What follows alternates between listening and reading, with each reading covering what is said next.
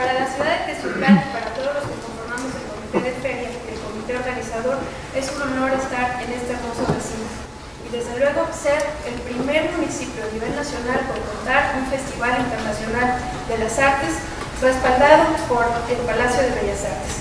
Y por ello queremos invitarlos a todos ustedes a que nos acompañen a, a disfrutar de este festival y de todas las actividades programadas para nuestra feria agrícola, artesanal, comercial y ganadera.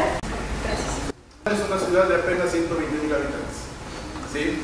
que se debate entre, entre seguir con esa somnolencia eh, del interior de la, de la, República, que nos vaya seguido con su nervino y chipi pero que también sueña con estar, eh, con ser punta de lanza, de ser eh, una, una ciudad que va creciendo y tiene derecho a tener las mejores condiciones de vida.